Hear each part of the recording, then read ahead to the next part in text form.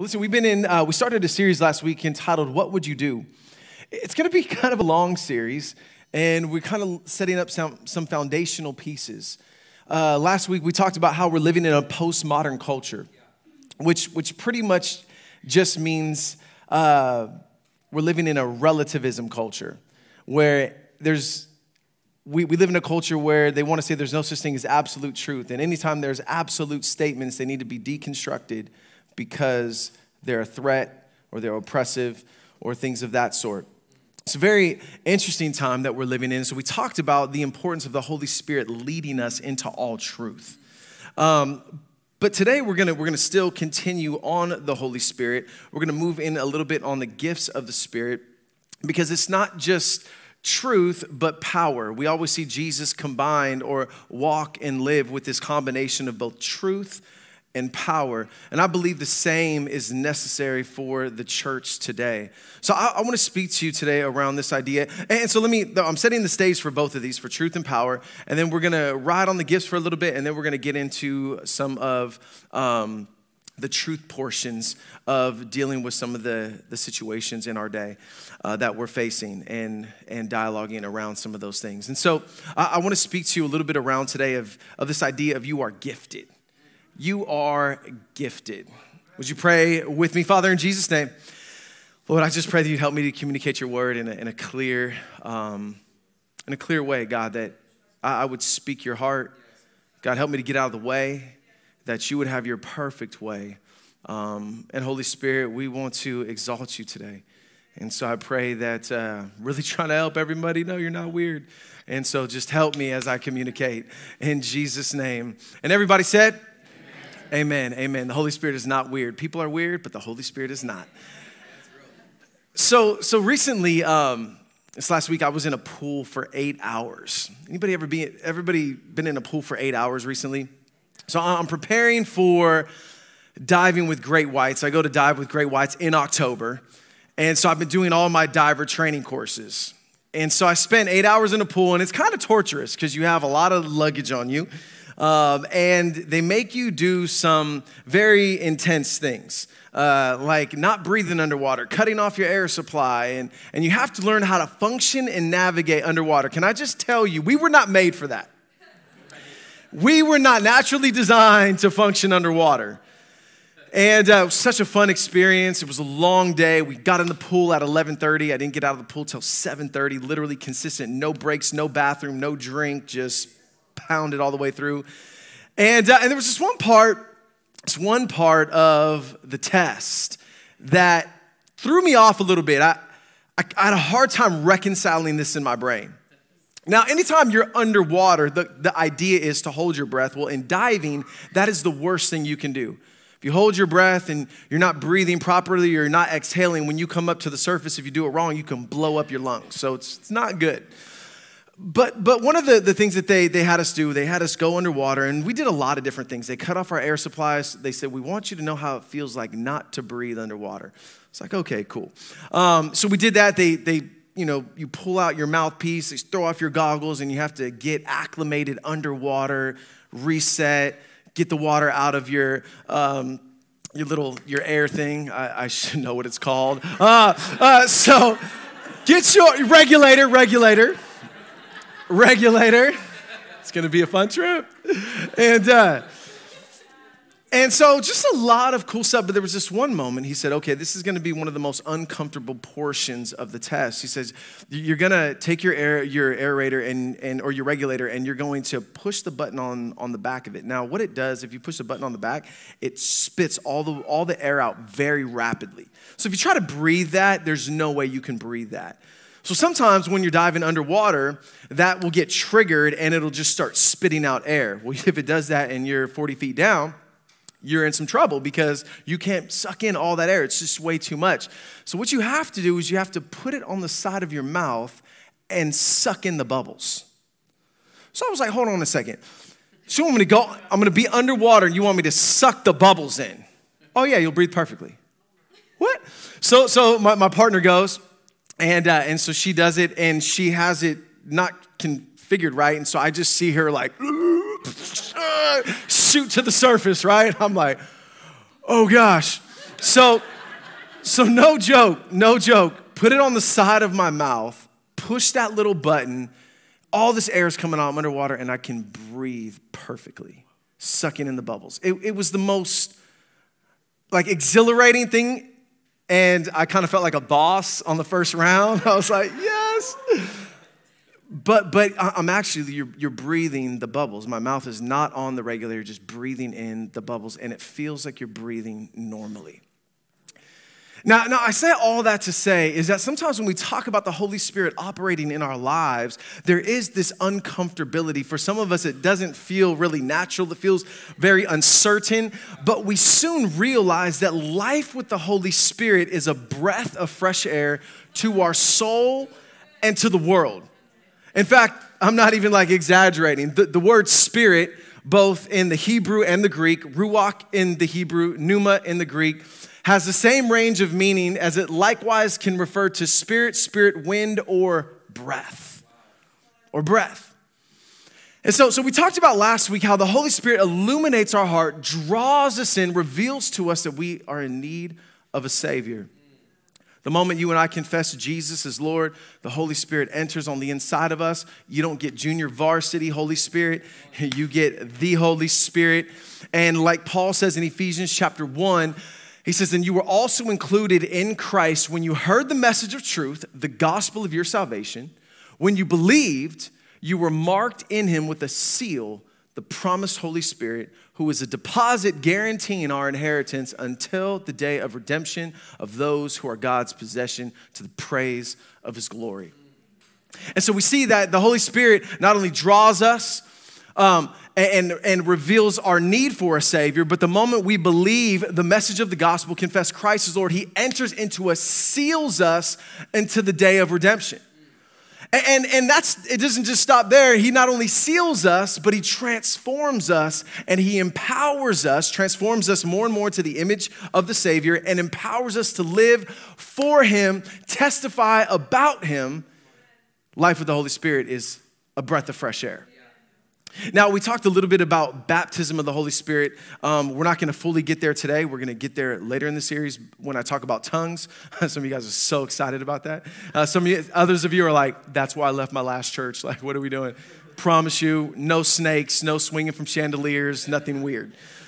Holy Spirit's not weird, but people are weird. Um, so, so we talked a little bit about baptism of the Holy Spirit. You, you, uh, Many of, of you that have grown up in church, you might have heard of something like this. You get saved, boom, you get the Holy Spirit. But then there's a baptism of the Holy Spirit, mainly referring to Acts chapter 2, outpouring of the Spirit's power. They begin to speak in other languages, known languages. People outside are hearing them speak in other tongues, known languages. We'll talk all about that later in the series. But, but I, I argued that it's not simply a second experience but it's an ongoing experience, multiple experiences when we do life with the Holy Spirit. We see this all confirmed throughout the book of Acts and being filled with the Spirit. And they were filled with the Spirit. So it's not like there's, you know, we get saved and there's this outpouring, this baptism in the Holy Spirit, and then we're done. No, it's we get saved, we have the fullness of the Holy Spirit, then we have an outpouring of the Spirit's power in our lives, throughout our lives in these moments where we described or defined it as an outpouring of the Spirit's power in our life for Christ exalting ministry, for edification of the body, and personal encouragement and sanctification. It's a lot of words. But, but it's, it's this, this reality of Paul talking about in Ephesians chapter 5 when he says, Do not be drunk with wine, but be filled with the Spirit. Remember, we said last week that word filled is a continuum, it means be being filled that it's an ongoing relationship and multiple outpouring of the Spirit's power in our life for Christ's exalting ministry, for edification of the body, and for personal encouragement and sanctification. And so, so Luke chapter 24, Jesus would describe it like this. He says, This is what is written the Messiah will suffer and rise from the dead on the third day, and repentance for the forgiveness of sins will be preached in his name to all nations, beginning at Jerusalem. You are witnesses of these things. I am going to send you what my Father has promised, but stay in the city until you have been clothed with power from on high. clothed with power, an outpouring of the Spirit's power in our life. Now, I argued the point that. Uh, you know, it's, it's a little bit debatable, but most scholars say believe that the disciples had the Holy Spirit predicated on John's gospel when Jesus breathed into them. And Acts chapter 2, because of the wording and the fulfillment of the prophecy of Joel, the wording that even Joel used is more of a prophetic power rather than salvation. Paul in 1 Corinthians uh, chapter 12 talks about a baptism in regards to salvation, meaning we're filled with the Holy Spirit at salvation and we're baptized into one body by the Spirit. So we see this beautiful reality, regardless of how you try to piece it together, that at salvation we're filled with the Holy Spirit, and then there's outpouring of the Spirit's power in our life for Christ exalting ministry, for edification of the body, for personal encouragement and sanctification. So you're gonna hear me say that a lot. Um, and, and, so, so an outpouring of the Spirit's power in our life. Now, what, what does that look like? Dr. Martyn Lloyd-Jones. Many, when they hear Dr. Martyn Lloyd-Jones, they think reform cessationist, but that's not who he was. He was definitely reformed in his theology, but believed in an outpouring of the Spirit's power. This is how he described it. He said, A man and his little child are walking down the road, and they are walking hand in hand. And the child knows that he is the, he is the child of his father, and he knows that his father loves him. And he rejoices in that, and he's happy in that.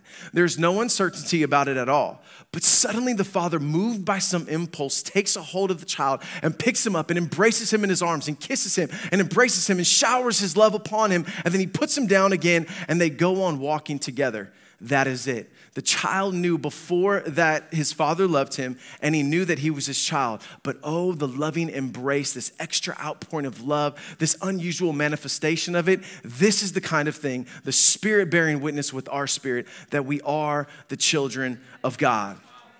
And he goes on to say, he says, when Jesus baptizes somebody with the Holy Spirit, or there's this moment of this outpouring of the Spirit's power in our life, he says, a person is carried not only away from their doubts to belief, but to certainty and a, and a deep, abiding awareness of the presence and the glory of God.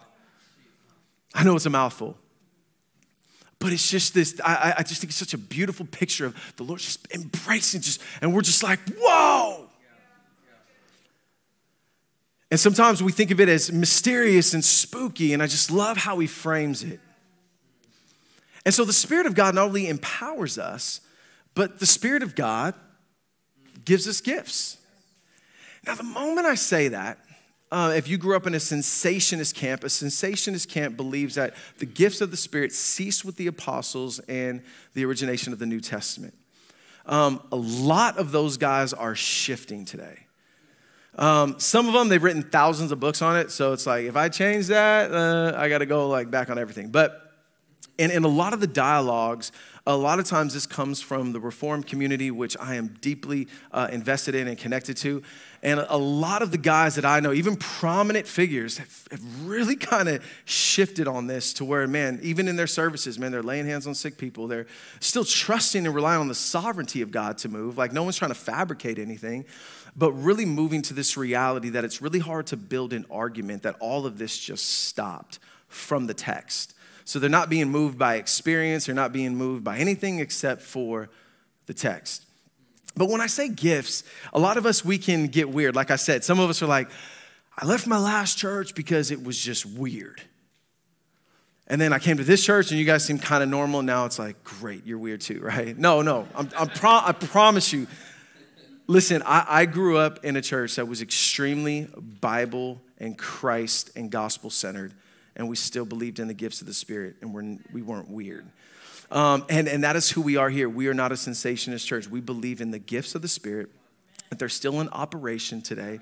Um, and hopefully, I'm going to help bring some clarity over the next several weeks to what this looks like and how God has actually gifted you. But when I, we talk about gifts, if you grew up like in a Baptist background, well, let me say this: if you grew up in a just non-church background, you don't even really have a, a, connection to gifts. You may think, like, you've seen some stuff on YouTube, maybe, maybe you've heard some things about these weird Christians, like I said, holding snakes, and any documentary on Netflix just blows it way out of, like, that's not Christianity, and it's definitely not the Holy Spirit. Um, but if you grew up in a Baptist background, um, I, I, may let, let, me give you a, a little bit of a picture. If I preach a great message, people laughed, people cried, a deep sense of the presence of God, people get saved. After the service, it's not uncommon for many of us pastors that somebody will come up, if they have more of a Baptist background or, or more of a Reformed background, they may say this Hey, great word. Walk away. Mic drop. Right? Great word. And now, if you have somebody that comes from more of a charismatic background, they may come up and say, oh, Did you sense the presence of God? That was so anointed. Right? And if you put those people in the same room, you would be hard pressed to have them agree that they're talking about the same service. And so we want to make sure that as a church, we, we have a great clarity um, when and language around the gifts of the Spirit that we understand so that we can know, so that we can grow in the gifts that God has given us, and so that our joy would be uh, that there would be the joy that we get to experience as we honor God with the gifts that He's given us, as, and as we do our part in the body of Christ, knowing our part, knowing our purpose. There's something so special about that because when we're operating like that as a church, it carries into eternity and makes a huge impact. So let's just distinguish a couple of things. What's the difference between natural gifts, learned abilities, and spiritual gifts? Because sometimes we get these confused, right? Some things you were just born with. Like, like some of you guys, I look at you, you're, you were just born with an athletic physique. You know, I just didn't get that.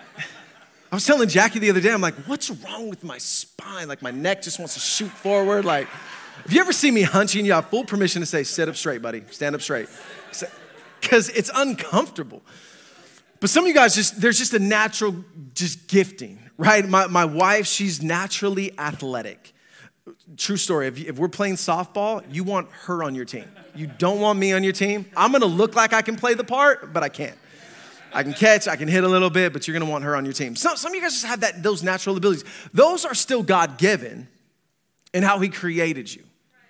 So they're still God given, and how he created you. And then there's learned abilities. There's just skills that we've learned along the way that are giftings that we have, or maybe we're inclined to, and, and we've just learned, we've progressed, we've, we've trained, and, and we've been equipped in a particular skill or area of, of sort.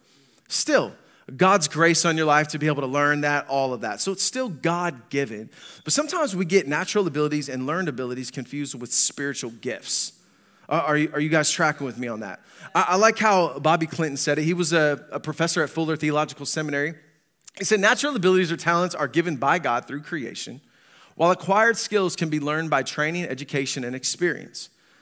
But spiritual gifts, I don't know who said this, but I, I like the wording of it, said that spiritual gifts are not natural talents, but they are divine. I spelt it wrong. Diving. See where my head is? I'm still in the water, eight hours. And, and a bunch of quizzes. Natural talent, but they're dive abilities.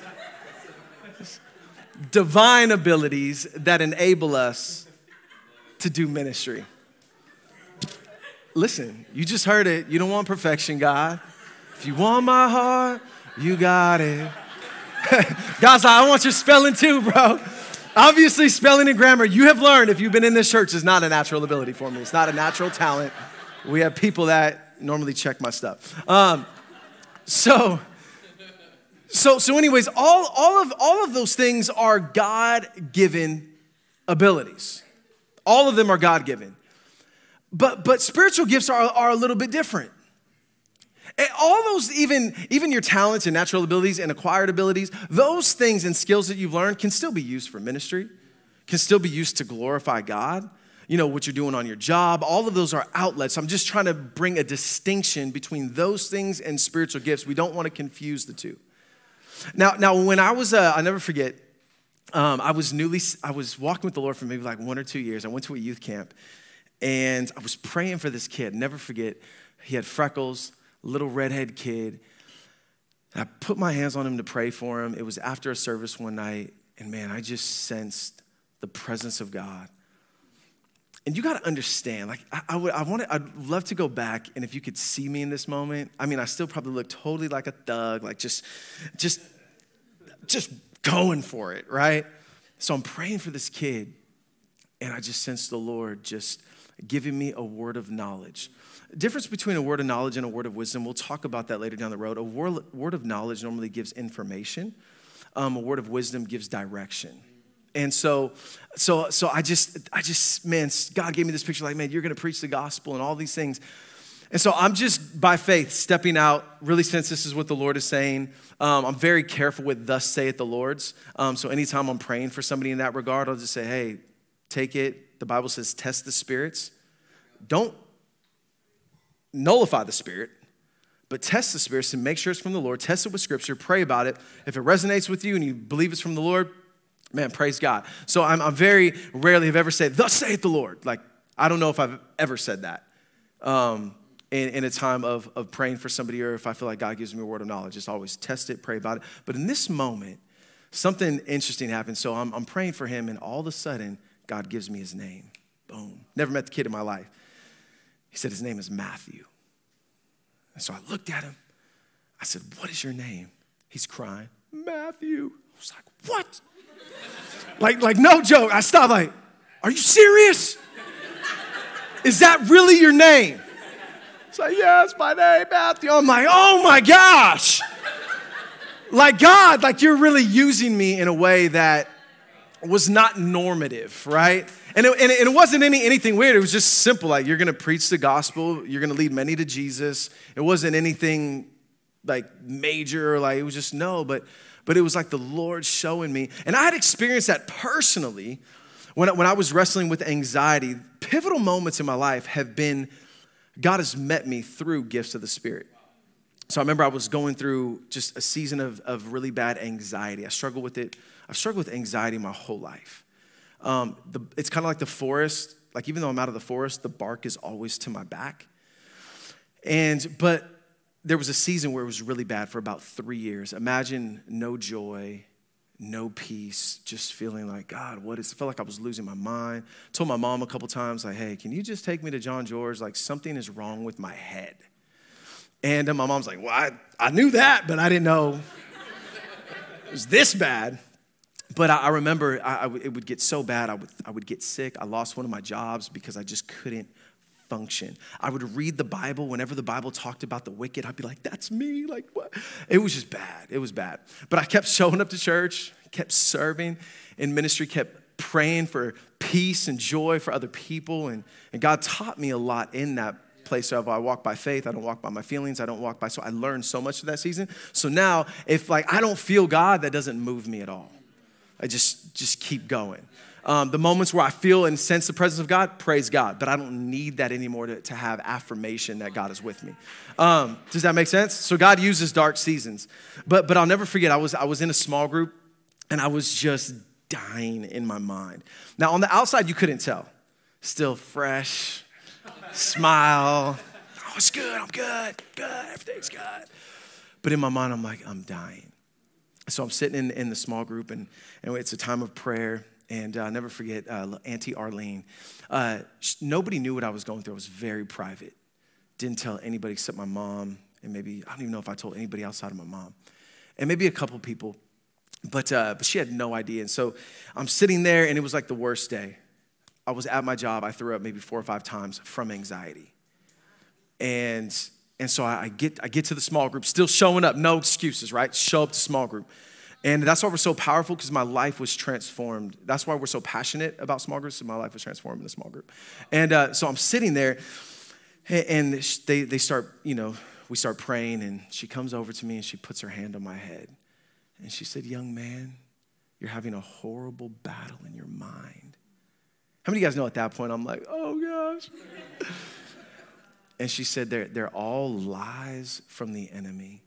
But the Lord says there's a season of joy on the horizon. My anxiety did not go away that day. And matter of fact, it, it probably didn't really lift for about another year. But what I knew in that moment is that God, you know me. You haven't forgot about me. Because in that place, you can feel like, God, are you there? Like I'm crying out to you every single day. And so it was just a reassurance from the Lord. It was encouragement. What, what are, what, what's a, a, like a prophetic word or a word of knowledge or a word of wisdom? What, it's to edify the body, not to be weird. And so, again, it wasn't like this miraculous moment. It was just the Lord saying, I see you, I know you, I got you. Trust me, keep walking with me, move forward. So, so, so I'm just saying, like, the gifts of the Spirit are, are, are, are used for the common good. They're used to encourage and to edify the body, to exhort, to correct, to across the board. And we're going to talk about that down the road. But it's important to understand that you don't get, you and I don't get to choose our gifts. All of these are works. So Romans chapter 12, Paul is speaking about the gifts of the Spirit, and he says, All of these are the work of one and the same Spirit, and he distributes them to each one just as he determines. So the Spirit of God sovereignly decides the part that we play. That's why comparison trap is so dangerous. When you're looking like, I want to do that. How come I don't have that? Well, there may not be a grace on your life for that. And, and we don't we don't get to pick and choose. It's not like a, a, spiritual buffet. Like, man, I think I want healing today. Let me um, word of knowledge, right? It's like that's not that's not how it works. No, the Spirit of God sovereignly selects, and they are supernatural in nature. And so the early church, the first century church, operated and, and utilized the gifts of the Spirit, and they were vital. And I believe the same thing is important for us today. That it's vital to the mission that we understand that the gifts are to be desired. Paul says in 1 Corinthians 14 that you should eagerly desire the gifts, but don't neglect love which is huge because you can have all the gifts, but if you don't have love, right? And so, so Paul is encouraging us that, man, these are to be desired, these are to be practiced, they're to be done in an orderly way. Paul doesn't tell the Corinthian church, hey, you're all messed up, stop it, gifts are not good for you. No, he just says, you guys are out of order. So there's an order to things. God is a God of order. So in light of all of that, I think it's important that as we talk about gifts, we have to talk, we have to look at Jesus first as our model. So we looked last week in Philippians chapter 2, verses 6 and 7. It says, Who being in very nature God, did not consider equality with God something to be used to his own advantage. Rather, he made himself nothing by taking the very nature of a servant, being made in human likeness. And so, what Paul is describing here, this is a beautiful passage, and it really speaks to the entirety of Jesus' life, death, resurrection, ascension in this passage of Philippians. But in order to really kind of understand this, what does it mean for him to empty himself in that way? Like Jesus is fully God, he didn't stop being God. Jesus was fully God, fully man. Let's make that really, really clear. If you miss one of those, you get a distorted picture of Christ. But, but what did it mean for him to, uh, to empty himself of, of that divine right, to humble himself as a servant? I, I love as we look here in Luke chapter 3, verse 21, it says, When all the people were being baptized, Jesus was baptized too. So let, us let's, let's look at this for a minute. We looked at this last week, but I added a, another verse here. It says, And he was, as he was praying, heaven was opened, and the Holy Spirit descended on him in bodily form like a dove, right? Holy Spirit present. And, and a voice came from heaven You are my son, whom I love. With you I am well pleased. Now, we talked last week about how we as a church believe in the Trinity, the eternal Godhead, God in three persons. And this is one of the passages where you see that distinctively and very, very clear. You see the presence of the Father, the presence of the Son, and the presence of the Holy Spirit. And so I, I think the, the beautiful reality of this is that we see that Jesus was subject to the Father, he was submitted to the Father's will. He was always saying that whatever the Father wants, that's what I don't do anything unless I see the Father doing it. What does that mean? Well, I think as we unpack this, it's going to make a little bit more sense. And so we see that not only was he submitted to the Father, but he was also empowered by the Spirit. Luke chapter 4 says it this way Jesus, full of the Holy Spirit, left the Jordan and was led by the Spirit into the wilderness Jesus returned, and then let me just stop there for a moment, and then we'll get to verse 14. So, Mark's gospel says that almost he was pushed by the Holy Spirit, driven by the Spirit. So, we have full submission to the Father, empowered, led, and guided by the Spirit. So, when you think about Jesus emptying himself, now you're gonna see how Jesus is modeling for us how we are to live in submission to the Father's will, empowered and led and guided and directed by the Spirit. Jesus is not only our Lord, He's not only our Savior, He's our model. Are you, are you track with me? Um, so, verse 14 says, Jesus returned to Galilee, what? In the power of the Spirit. And news about him spread throughout the whole countryside. Now, let me take it a step further. Luke chapter 5, verse 17. One day, Jesus, Jesus was teaching, and the Pharisees and the teachers of the law were sitting there. They had come from every village of Galilee, from Judea and Jerusalem, and the power of the Lord was with Jesus to heal the sick. That same power is the word dunamis, which is recorded in Acts chapter 2 when the Holy Spirit was poured out in power, or how, as Jesus declared, be clothed with power from on high. It's the same exact word. And so, so he's submitted to the Father. He's guided and empowered by the Holy Spirit. And I would even, I would even, uh, I, I think this picture will help us understand it a little bit better. He's submitted to the Father, empowered and guided by the Spirit, operating in the gifts of the Spirit. Now, the difference between Jesus and you and I is this reality in John chapter 3 verse 34 for the one whom God has sent speaks the words of God for God has given him the spirit without limit so you figure that the gifting ability on Jesus, empowered by the Holy Spirit, was limitless. Every gift, teaching, miracles, signs, wonders, like uh, uh, healing, all that. But for us, we're not gonna have all the gifts individually. And I feel like the Lord almost designed it that way so that we can operate as a body, which now we are called the body of Christ. So let me, let me explain this for a moment is that Jesus has a measureless anointing from the Spirit. So, again, operating and healing, not a problem. Miracles, teaching, but you see the presence of the Holy Spirit all throughout these moments. And so, as you and I, as believers, we have the same Spirit. Um, and the church, God has given gifts of the Spirit. So, if Jesus had the Spirit and operated in the gifts of the Spirit, you and I have the Spirit, and the church has the gifts of the Spirit, then all of a sudden, John chapter 14 seems to make more sense. The very, very, uh, I tell you, whoever believes in me will do the works I have been doing, and they will do even greater things than these because I am going to the Father. And now, this Jesus works includes both his miracles um, and his other activities, as far as teaching, including the wholeness of his ministry, evangelism, deeds of mercy and compassion. And every scholar would not doubt on this passage. People pick one side of this passage to say, oh, well, that just means that because the Holy Spirit's going to be poured out upon all people, that we can just reach more people than Jesus because our expanse is going to be larger. But that, that's such a stretch every commentary that you will read is like, you got to define what are those works. And it, and it, whether you're reading the ESV Bible, study Bible, you're looking at NIV, you're looking at major commentaries, they're all going to say the same thing. It's both divine, these miraculous, but also the other aspects of his ministry, teaching, evangelism, mercy, deeds, etc. So, so now Jesus is our model. And, and I want you to notice something. Jesus, many times when things were just booming, like things are just exploding. People are getting healed. Like, like there's, there's big crowds. Jesus would be like, I'm out. And he would slip away into solitude and silence. And when you look at the context of a lot of those slipaways, he's going to be with the Father. And so, so get this picture. Jesus is going to be with the Father because he says, I don't do anything unless I see the Father doing it. Right? And so Jesus is going to be with the Father. Why? Because again, he's modeling for us what it's like for you and I to walk with the Father empowered by the Holy Spirit. And so, in these times of silence and solitude, going to be with the Father, it's like, man, he's, he's hearing the Father's heart. He's communing with his Father. So, there's what, what, is, what is happening? There's, there's intimacy happening, there's direction happening. Because remember, he relinquished his divine rights, fully submitted to the Father empowered by the Spirit.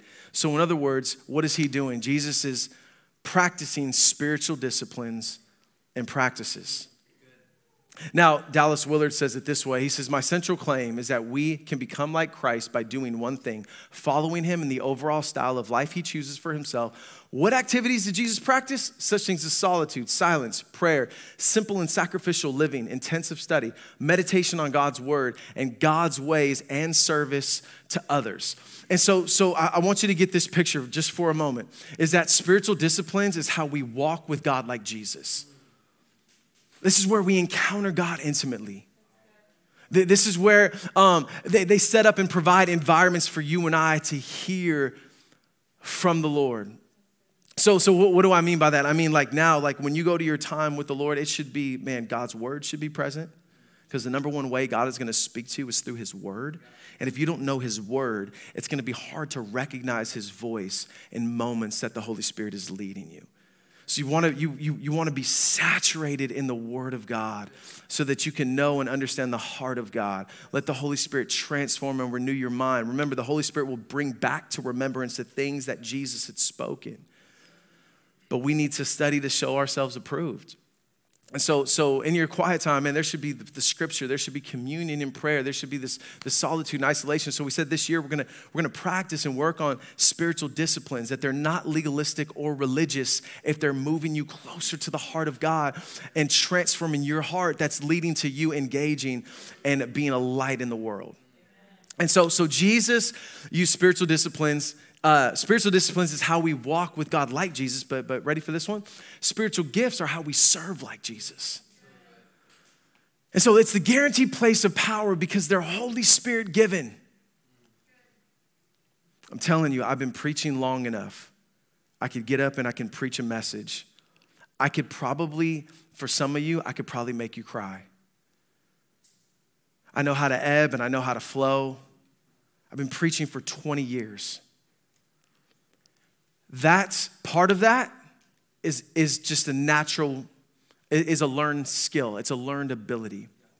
But can I tell you, apart from the Spirit of God, nobody's hearts will be transformed. I'll be up here as a clanging cymbal. Sounds great. Amen. Good word. No transformation. So, so, so my heart and my goal and, and our heart for our team here is not that, hey, we preach great messages. No, but the Holy Spirit is present and lives are being transformed as the word of God is being declared. Now, don't get, don't get me wrong. When I'm preaching the word of God, regardless if my motives are right or not, man, God loves you and God loves people. So sometimes you're like, man, how could God use that person? Listen, God's grace sometimes is beyond, but his word never falls or returns void. And so, even though the man may be flawed, which we all are, the Word of God is not and still accomplishes what it was set out to do. But I want you to catch that heart. Like you can use natural talents and abilities, but that's not guaranteed power. It's not guaranteed power. Jesus is our Savior, Jesus is our Lord, but He's also our model. And now you and I, I think this is so beautiful. Now you and I are the hands and feet of Jesus in the earth. Paul says in Romans 12, he says, For just as each of us has one body with many members, these members do not all have the same function, right? Because remember, the gifts that the Spirit gives us, they're sovereign. They're supernatural and they're sovereign. We don't get to pick those. So, in Christ, we, though many, form one body, Christ being the head, and each member belongs to all the others. We have different gifts according to the grace given to each of us. Can I just set some of you free today? Listen, run your race. Don't try to run somebody else's race. Like your race is valuable. Otherwise, it's like saying, hey, God, you made a mistake and the gifts that you've given me are not important. I tell you what, man, you lose that pinky toe, you try to balance. You don't know what you don't have until you lose it. But you can see this. You know, I, I hear this all the time, and it's true, and it's also a partial truth. I don't need to be in church to be a Christian. Facts. You do not need to be in this building to be a Christian. But if you are a Christian and you're a part of the body, yet never gathering with the body, how does this make sense? Because you're part of the body. We belong to one another. So let, let, me, let me tell you this it's not dependence and it's not independence, it's interdependence. Us as one body being the hands and feet of Jesus in there. So let me just ask you this Do you really want to see? Because I know I do. I want to see God's will be done. I want to see his kingdom come on earth as it is in heaven. I want to see darkness pushed back. I want to see lives saved. I want to see hearts, homes, and cities revived.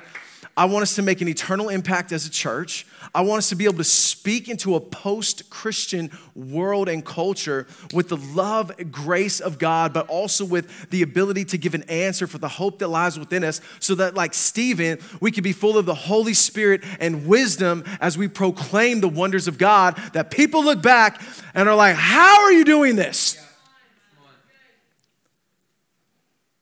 Even though, as he's declaring that, Stephen is being stoned to death.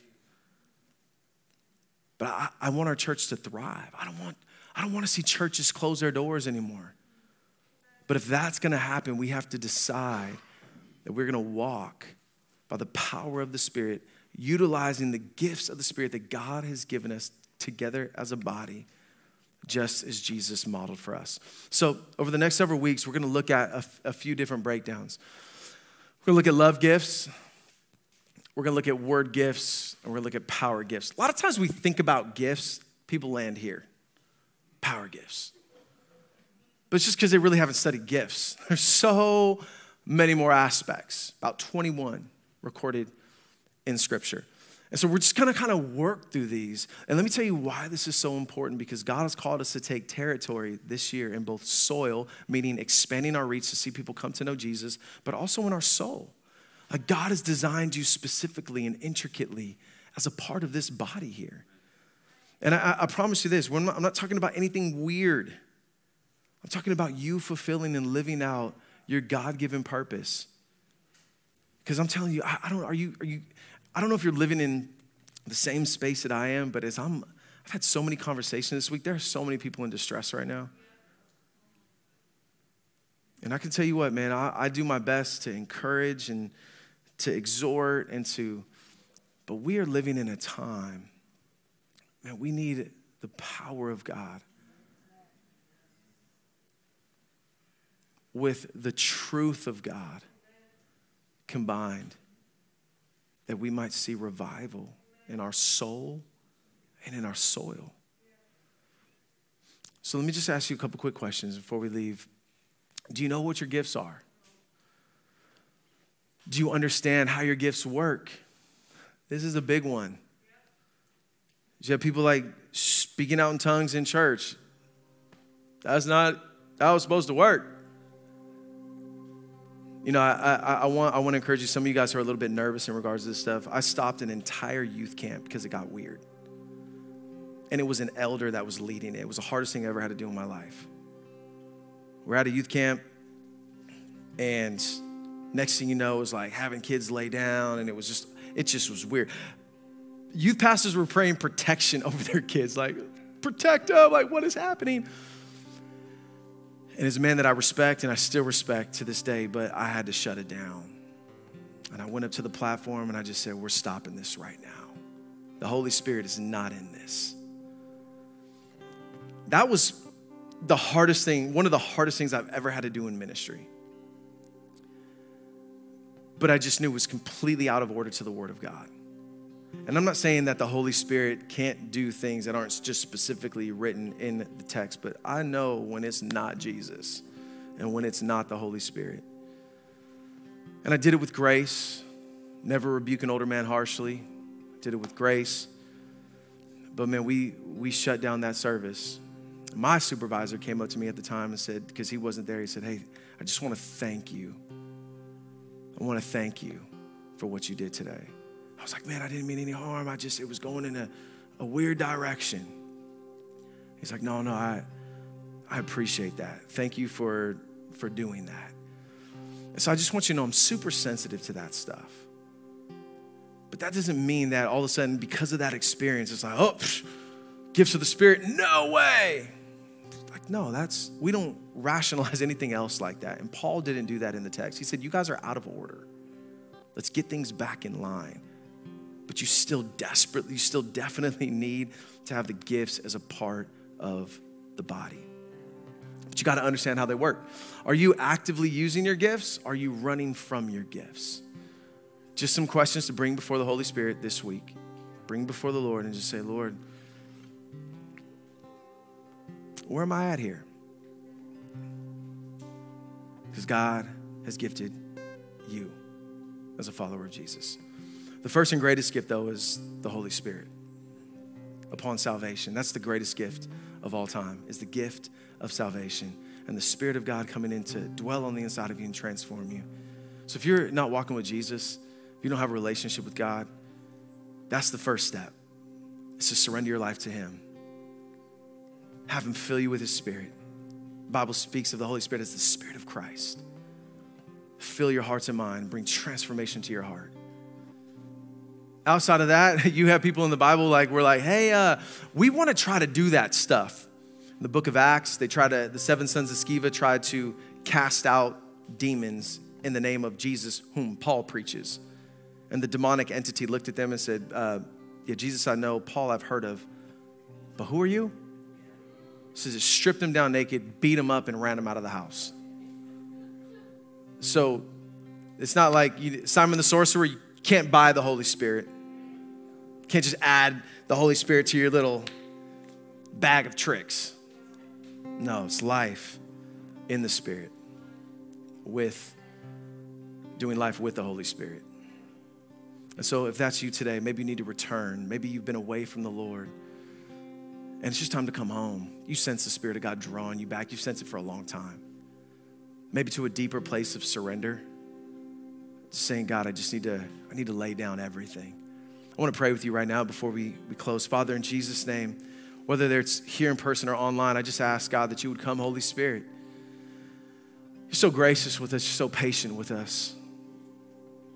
I just pray, God, that if there's some that don't know you today, maybe they have a religious understanding of you, but they really don't know you. But I pray that today would be the day. If that's you, I'm going to pray a simple prayer. There's nothing magical about this prayer, but I'm hoping it would just communicate what the Lord is doing in your heart. You can put it in your own words if you want. It's not even the prayer that saves you. It's that if you confess and believe that Jesus is Lord, confess with your mouth and believe in your heart that He was who He says He was, that He lived, He died, that He rose from the dead, that He is the Son of God. So this prayer is just to kind of help guide you, but that's that's the reality of it. You don't have to pray this prayer with me to be saved. It's just hoping to, to lead you in that confession. And it would just go something like this. You can pray this with me. Just say, Lord Jesus, today I surrender. Lord, forgive me for my sin. Lord, I confess you as my Lord and Savior. I believe that you died on the cross for me. You took my payment, my penalty, took my sin.